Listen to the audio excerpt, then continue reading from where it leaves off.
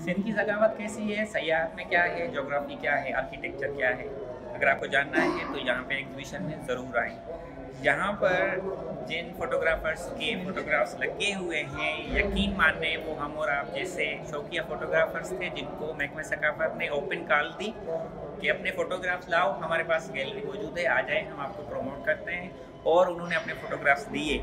अब कल आखिरी दिन पता चलना है कि who is the best photographer of Sindh तो कंक्लूडिंग सेरेमनी में ज़रूर आइएगा, ये फैमिली प्रोग्राम है, कोई पास कार्ड नहीं है।